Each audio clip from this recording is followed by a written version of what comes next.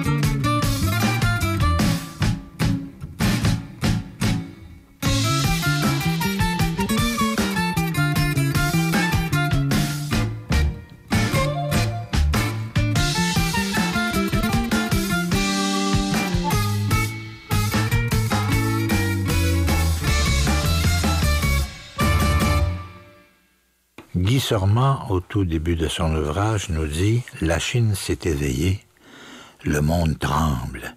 Il tremble parce que notre idée de la Chine l'emporte sur sa réalité. Ce n'est pas la première fois. Les observateurs occidentaux de la Chine ont souvent manifesté un don singulier pour la voir telle qu'elle n'est pas. Et les dirigeants chinois, depuis l'Empire jusqu'au Parti communiste, ont un grand talent pour berner les Occidentaux. La puissance chinoise va-t-elle submerger l'Occident?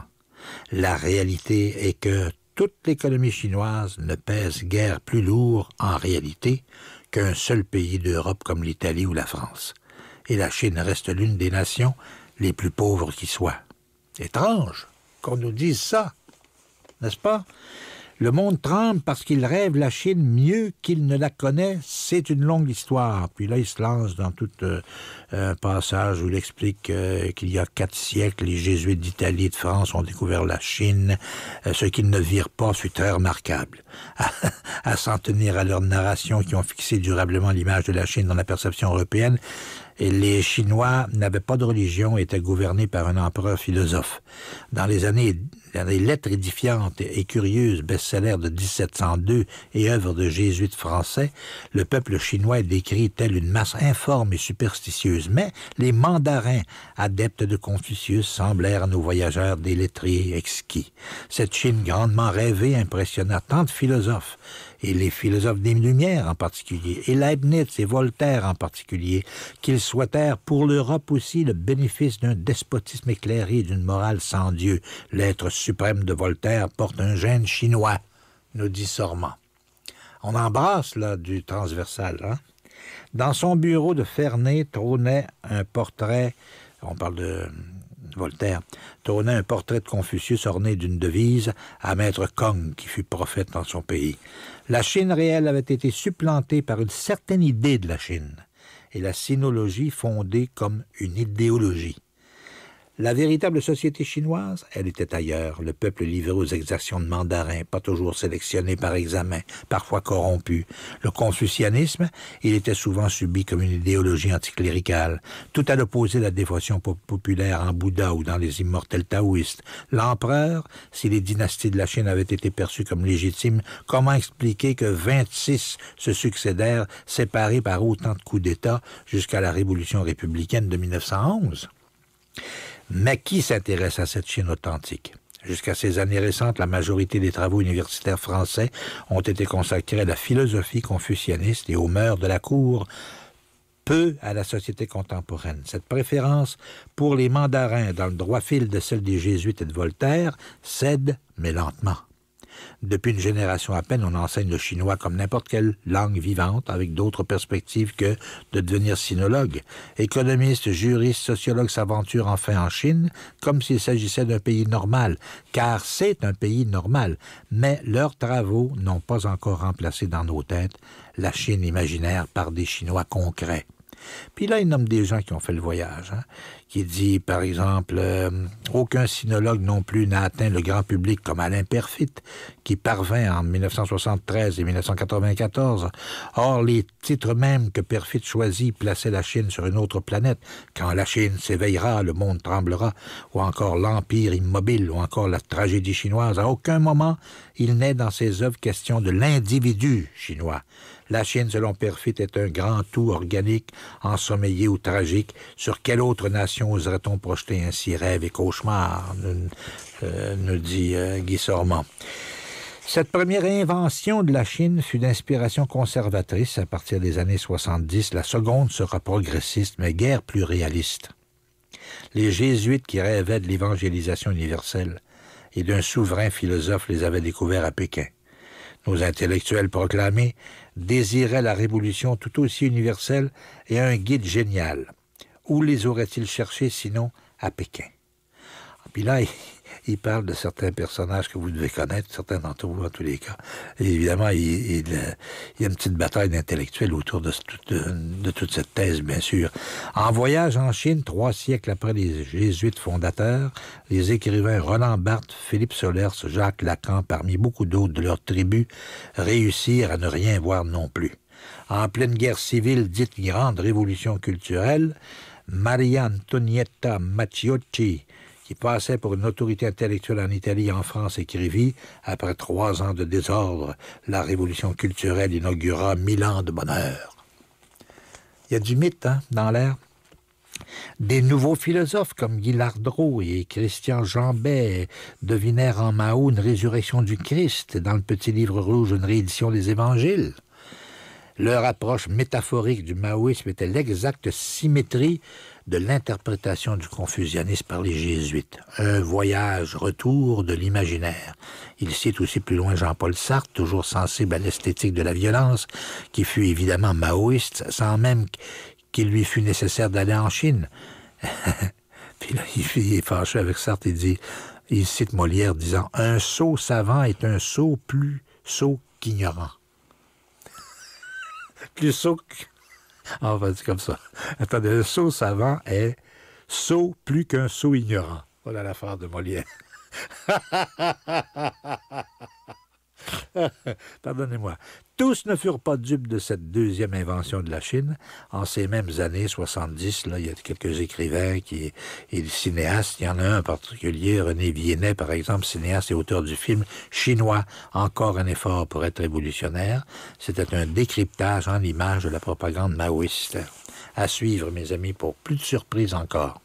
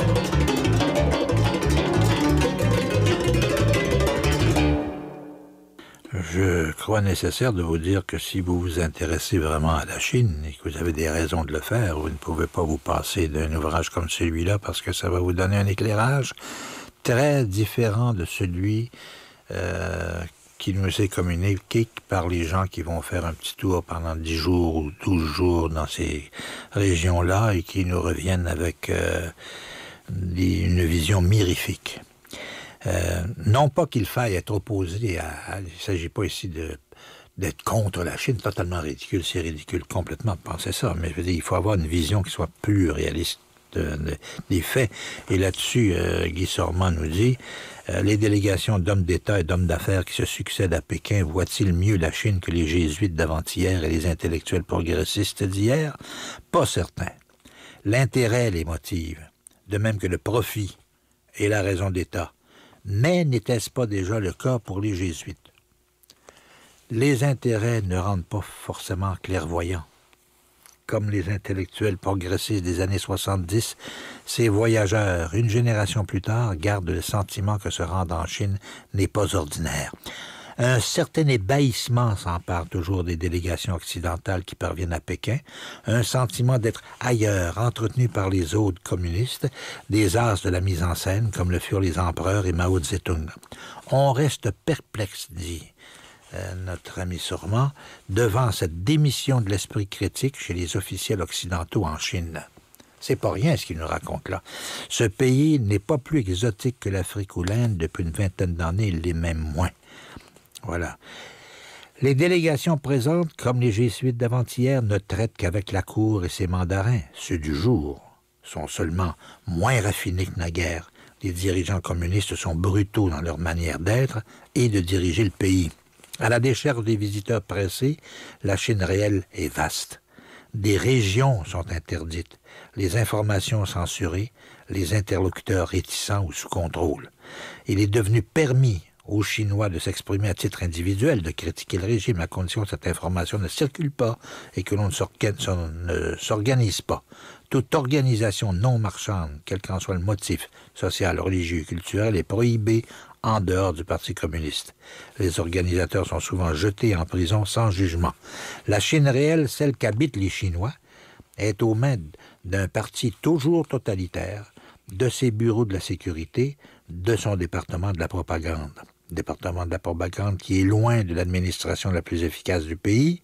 Les étrangers consomment ce que ce qu'elle leur administre, statistiques économiques invérifiables, élections truquées, épidémies dissimulées, prétendue paix sociale, prétendue absence de toute aspiration de la démocratie. Il faut retenir que lui est resté un an, l'année du coq, hein, et qu'il a visité la Chine et qu'il est allé un peu partout. Comment y est-il parvenu Je ne sais pas. Il ne l'explique pas. Mais je veux dire, sans doute était-il euh, guidé par euh, euh, certains groupes de démocrates, car il en parle dans ces termes-là, de rebelles, comme ils disent là-bas.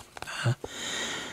Alors, à l'écoute des Chinois réels, dit-il. Que pensent les Chinois, les 95% qui ne sont pas au Parti communiste, le milliard d'entre eux qui restent des esprits libres et des paysans pauvres, dans un pays totalitaire?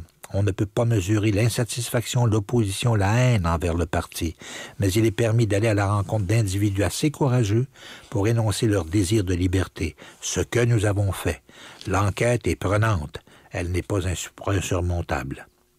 D'autres s'y consacrent, le journaliste, sociologue, économiste, et aboutissent à la même conclusion. Les Chinois n'aiment pas le Parti communiste. L'immense majorité souhaite un autre régime moins corrompu, d'une part, plus équitable, d'autre part. La proportion de ceux qui profitent du développement économique est si faible que la grande masse des Chinois en retire un sentiment de profonde injustice, plus puissant que l'espoir de progresser. À écouter ces Chinois à l'esprit libre, j'ai consacré une année l'année du coq, selon le calendrier chinois, de janvier 2005 à janvier 2006. Écoutez, n'est-ce pas la moindre des choses? Me parlant, certains prenaient des risques, alors que je n'en couvrais aucun. Pour ces hommes et ces femmes épris de liberté, ceux que j'ai privilégiés dans cette enquête, la collusion des gouvernements occidentaux avec le Parti communiste est incompréhensible. Comment, m'a-t-on souvent demandé, avons-nous avons pu oublier si vite le massacre de Tiananmen? Les corps des victimes n'ont pas même été rendus aux familles. Doutons-nous un instant que le parti, s'il se sentait menacé, aurait de nouveau recours à l'armée? Savons-nous que partout en Chine, des révoltes de paysans dans les campagnes, d'ouvriers dans les usines se dressent contre le parti? Ignorons-nous que les religions sont réprimées, que par, par euh, milliers des prêtres, des pasteurs, des adeptes de tel ou tel culte sont internés sans jugement dans des centres de rééducation par le travail?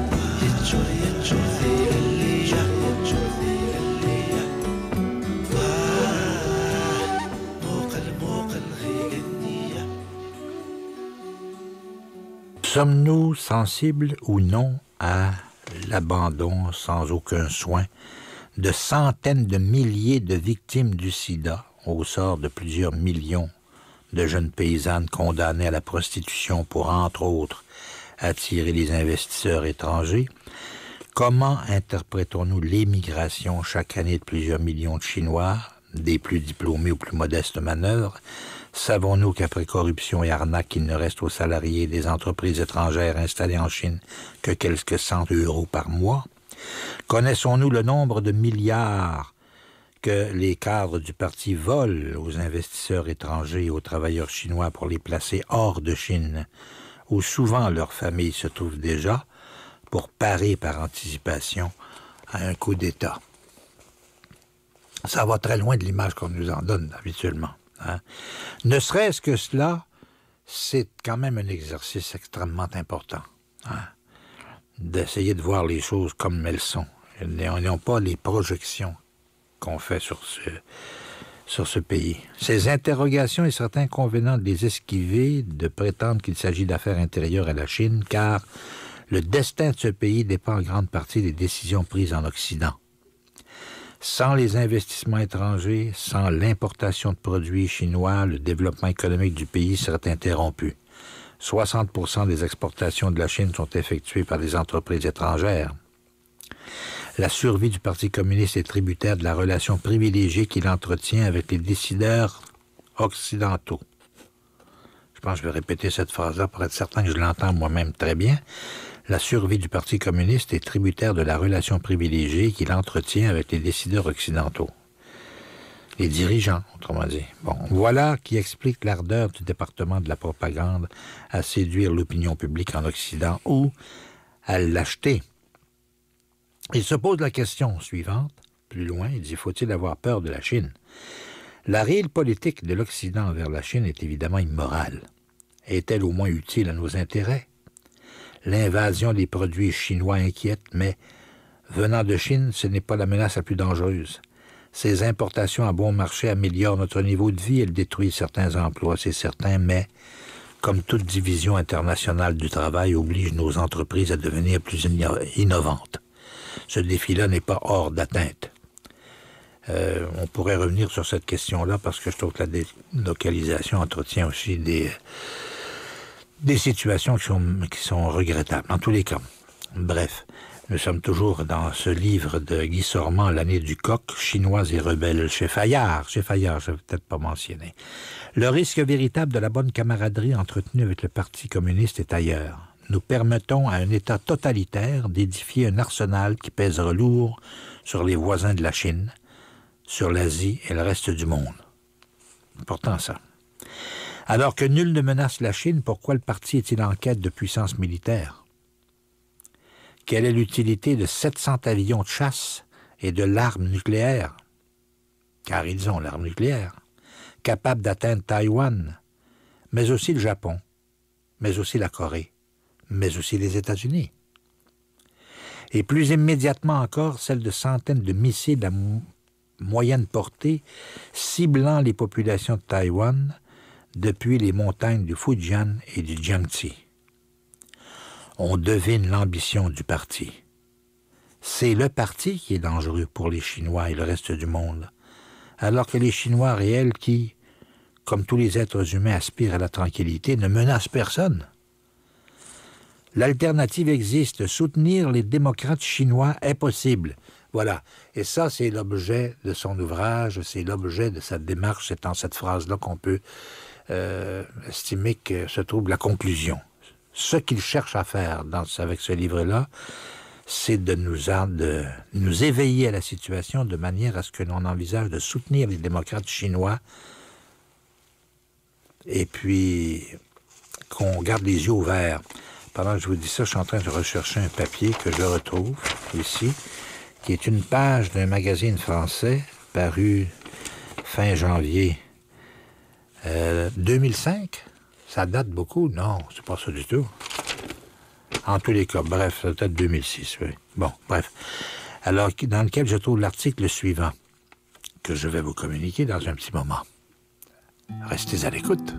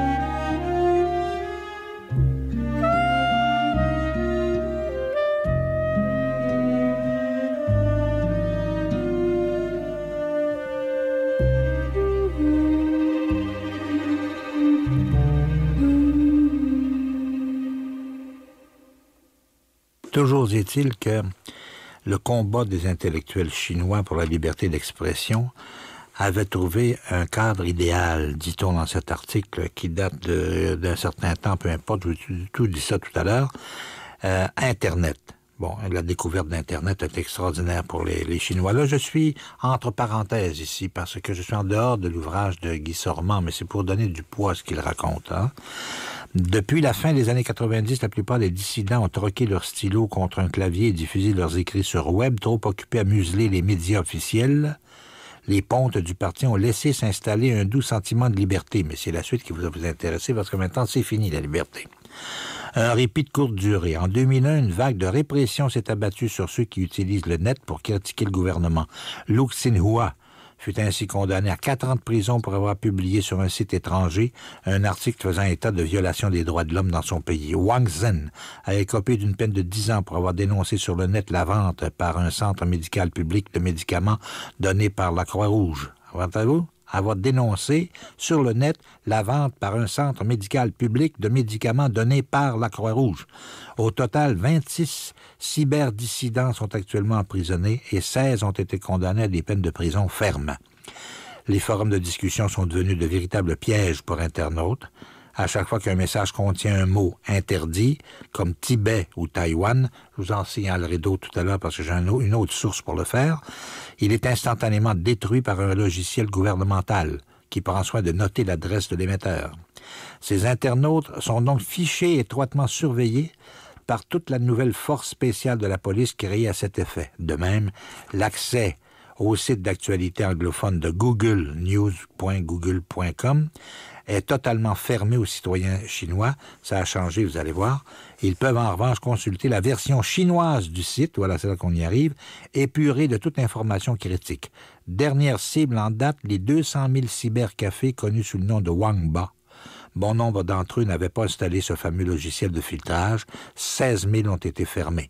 Preuve du potentiel constataire, contestataire d'Internet. Puis là, je trouve ici précisément sur le, euh, l'écran, d'autres informations qu'on me communique que les gens de l'autre côté, du côté de l'aquarium, me communiquent. Alors, euh, ah oui, c'est ça que je cherchais. Vous l'avez trouvé, bravo. Google et Yahoo censurent gratis. En collaborant avec les autorités, les deux moteurs de recherche aident à la mainmise du pouvoir sur l'information. Quelles sont les conséquences pour les quelques 120 millions d'internautes chinois de la censure opérée par les versions chinoises des moteurs de recherche Google et Yahoo? Un aperçu de l'impact de cette collaboration pernicieuse en introduisant des mots-clés choisis euh, dans les deux moteurs de recherche en français à Paris et en chinois à Pékin. Alors vous avez sur le même sujet, vous avez par exemple Tiananmen, le mot déclenche sur Google chinois une avalanche de cartes postales publiées par le quotidien du peuple montrant la place et le portrait de Mao sous leur meilleur jour. Fleurs, ciel bleu, feux d'artifice, tout le kit. À l'opposé, à Paris, Google nous conduit vers les photos des manifestations lors du mouvement pro-démocratique de la place Tiananmen en juin 89 et vers l'image omniprésente du jeune Bravant euh, ah la fameuse, la image, le jeune bravant une colonne de char. Yao Chine apporte une moisson comparable, à Pékin comme à Paris, mais n'a pas l'honnêteté d'annoncer que les requêtes de son moteur de recherche sont censurées. Sur le Google chinois, en revanche, figure en bas de chacune des pages un avertissement à caractère fin non signé, mais dont l'auteur est sans doute Google, qui explique, conformément aux règles, directives et lois locales, une partie du contenu ne peut être montrée. Et ça continue comme ça, et ça continue comme ça. D'abord, sur les droits de l'homme également. Quand on parle de droits de l'homme, censure. Quand on parle d'homosexualité, censure. Ensuite, quand on parle évidemment du Tibet, censure. De Dalai Lama, censure, etc. Bon. Il faut tenir compte de ça aussi, hein, mes amis. Si on ne tient pas compte de ça, on va simplement euh, perdre quoi? Le sens commun, je vous dirais. Le sens commun, c'est pas rien. Alors, quant à nous, de ce côté-ci, du côté du livre, où étions-nous? L'alternative existe, il y a un bon côté à ça, nous dit euh, Guy Sormand. Soutenir les démocrates chinois est possible. Alors, il va nous expliquer ça. Je vais vous communiquer un certain nombre d'informations à ce sujet-là, et qui sont d'autant plus intéressantes que l'avenir nous réserve de grandes surprises, dit-il.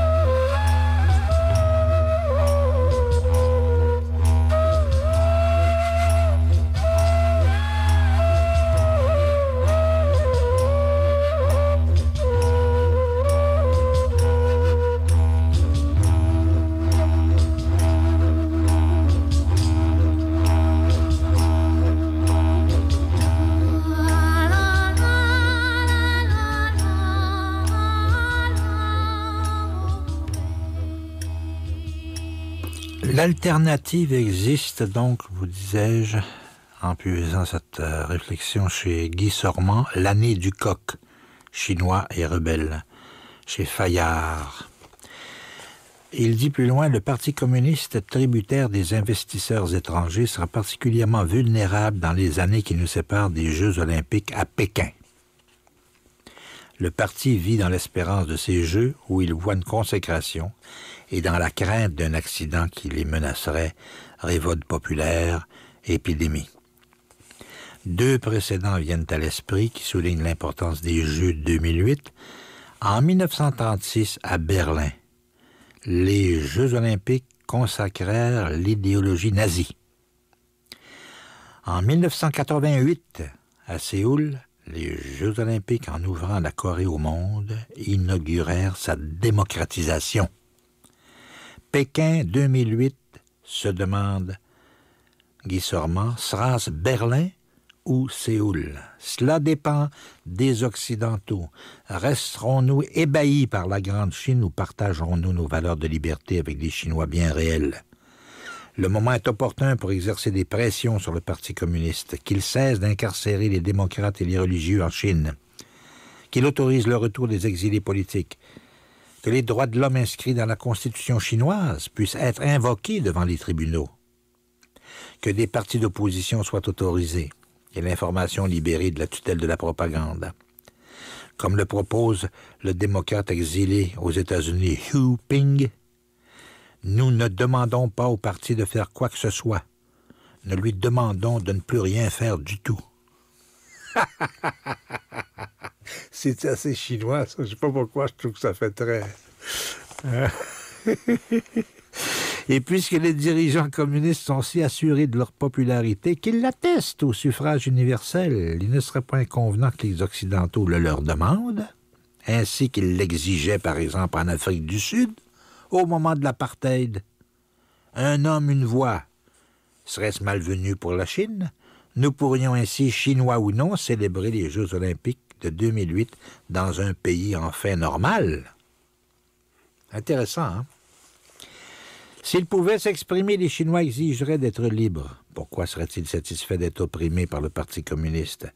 Seraient-ils des amoureux de la tyrannie, différence-là de toutes les autres nations? En Occident, nos préjugés, nos intérêts économiques et diplomatiques se conjuguent avec la propagande des dirigeants communistes? Pour nous faire croire que la démocratie en Chine serait une aberration, ou qu'il est beaucoup trop tôt pour y penser, voir que la démocratie serait contraire à la civilisation chinoise, peut-être en fait finalement au bout du compte que tous ces capitalistes très chauds, là, très très engagés sur la voie de n'importe quoi pour faire un profit, se trouvent fort bien en Chine de négocier avec le Parti communiste? Coudon, quant à pas avoir de morale, aussi bien d'aller jusqu'au bout. N'ayez pas peur, faites-le, allez jusqu'au bout. Mais les Chinois, qui sont des citoyens de notre temps tout autant que de leur pays, savent ce qu'est la démocratie. Ils ont assez souffert des exactions du Parti communiste pour souhaiter avant tout son départ. Ne serait-il pas reconnaissant au parti d'avoir relâché son emprise sur la société? Oui. Ils sont moins tyrannisés depuis qu'on leur a restitué le droit de vivre en famille, qu'ils n'avaient pas, de choisir leur style de vie, et pour une minorité d'entre eux, de s'enrichir. Mais le peuple sait combien il reste tenu en laisse par le parti, exposé à ses sautes d'humeur et à ses luttes de faction. Dans le quartier, le village, l'entreprise, tout individu reste à la merci du petit chef local. C'est comme ça que ça marche. Ça a marché de même longtemps, ça continue de marcher comme ça. Si les Chinois le pouvaient, ils rejetteraient ces apparatchiks dans les poubelles de l'histoire. Ils ne le peuvent pas, mais certains cependant le disent, ce qui exige de leur part un courage inouï. En Occident, nous appelons ces démocrates des dissidents. Extraordinaire, au fond. Donc, on, a, va absolument dans le jeu du Parti communiste chinois. Le terme est, réducteur. Ces, dissidents-là ne sont pas des marginaux, mais les porte-paroles de la nation chinoise, nous dit Sormand. Depuis que la Chine est sous la coupe du Parti communiste, ces héros de la démocratie se relaient d'une génération à l'autre. Les grosses caisses du parti se sont toujours employées à couvrir leur voix. Mais nous proposons ici de les écouter, nous postulerons qu'ils sont l'honneur de la Chine, peut-être son avenir. Une Chine normale, voilà ce que demandent les démocrates en Chine. Écoutons-les, car ce qui suit n'est pas, espère-t-on, un livre de plus sur la Chine, parce que tout ça, c'est la fin de son, de son introduction que je vous communique maintenant. Écrire sur la Chine en général ne fait d'ailleurs pas sens. Autant écrire sur l'Occident en général. Il paraît tout aussi impensable de prophétiser sur la Chine, ensemble de peuples particulièrement imprévisibles, qui se trouvent dans une situation sans précédent, chaque jour plus volatile. On se contentera ici d'écouter non pas les Chinois, mais des Chinois. Des individus singuliers, choisis parce que représentatifs, croyons-nous, du débat présent entre le pouvoir autoritaire et ceux qui le contestent tous personnages au caractère trempé, convaincus de la justesse de leur cause. Au lieu d'un livre sur la Chine, ce qui est ici proposé est, et n'est que cela, un recueil de rencontres tout au long de l'année du coq avec des Chinois inflexibles. Un an à écouter des démocrates de Chine, des rebelles contre la tyrannie, c'était, m'a-t-il semblé, le moindre des devoirs. Une manière aussi de ne pas récidiver dans la fascination qui parfois, face tyran, saisit l'Occident. Guy Sormand, L'année du coq, chinois et rebelle, en sous-titre chez Fayard. Je pensais que ça pourrait vous intéresser.